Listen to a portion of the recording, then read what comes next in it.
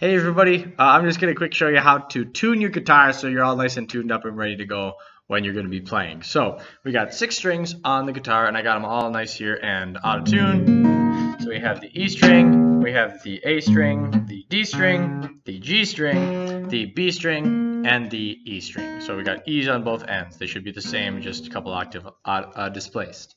So when you're tuning your guitar, you're going to want to have a tuner or a tuner app on your phone or something like that. That's what I've got right here. You can see as I'm talking, it's trying to pick up what note I am saying and whether I'm in tune or not.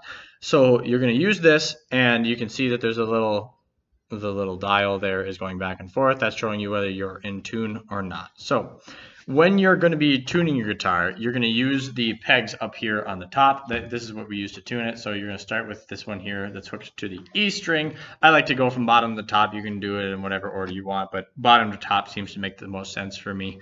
So you pluck your string to see how you're doing. So like right now, if I pluck my string, you can see that it's all over the place. It's actually in between E and E flat. So we want to bring it up in pitch just a little bit. So I'm going to very slowly and pretty firmly um, start to twist my peg as I am playing my E string. I'm going to take a look down at my tuner, have the guitar nice and close.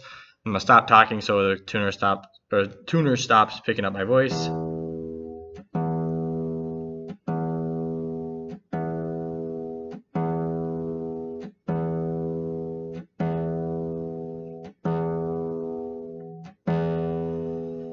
There, I got it pretty close to the middle watch.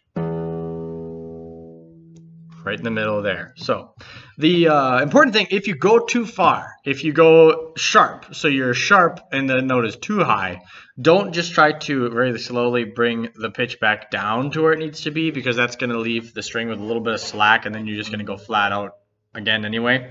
You're going to want to always approach the note from the bottom. So you're going to want to have it loose and then tighten to get to the note. So if I go all the way up to like uh, an E sharp, which would be an F, then I would just loosen it all the way back down to um, E flat again and start to work my way up. So if you go too far, realize that you're going to have to go back and try again. So I'm going to tune all the rest of the strings here. So I have the A, D, G, B, and A string that, or no, E at the end, sorry, that I'm going to tune up here um, just so you can see kind of how it's done.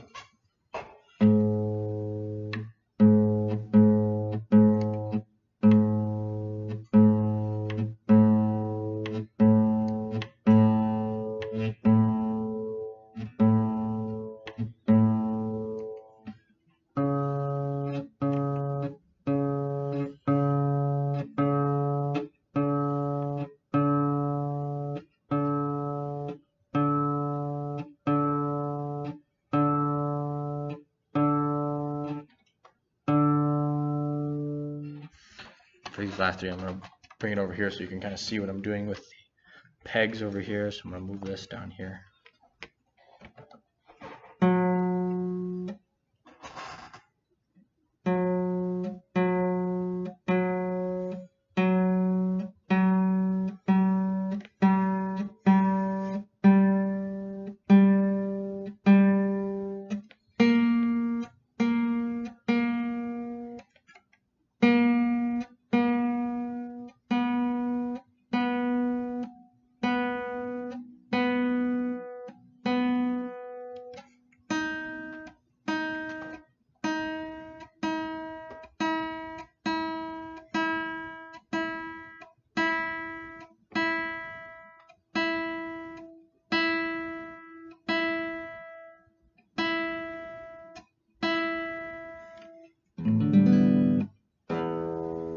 Pretty good. So, now that I've done that, keep in mind that as you play, if you play for like an hour or something like that, especially if you play for that long, but if you're playing for a while, um, your guitar is going to go out of tune again. And if it sits for a while, if you like let it sit overnight and then you go back to play it, it probably is going to be out of tune again. So keep in mind that every time you are going to start playing it, you're going to want to tune your guitar so it sounds nice and good.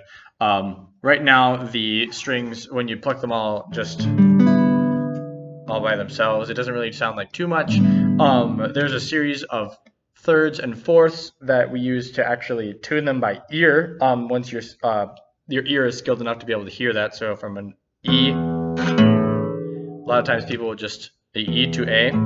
They'll use that to tune the um tune the guitar. They'll memorize what that sounds like. So they'll have the E, the low E, and then they'll do, and they'll be able to hear when that's in tune. And then they'll move on once they have that one, and they'll do the next two, and then they'll go on and do the next two using the string that you tuned at the beginning to um, tune the rest of the strings. That's like the way to do it without even needing a tuner. If you use a piano to just tune this note, then you can by ear do the rest of the strings. Um, but right now, especially for those who are beginners and we don't have our trained ears too much, I would really highly recommend just downloading a tuner app. This one is called Tuner Lite. Um, all you got to do is uh, click it open and then click on the little thing that looks kind of like a weird fork right here, the tuning fork, and then it'll start to pick up your uh, guitar and your voice as you talk, and you tune the guitar to each of the strings names. So that's how you tune a guitar. Um, look on to the next lesson to see how we're going to do E minor, and we're going to play that chord.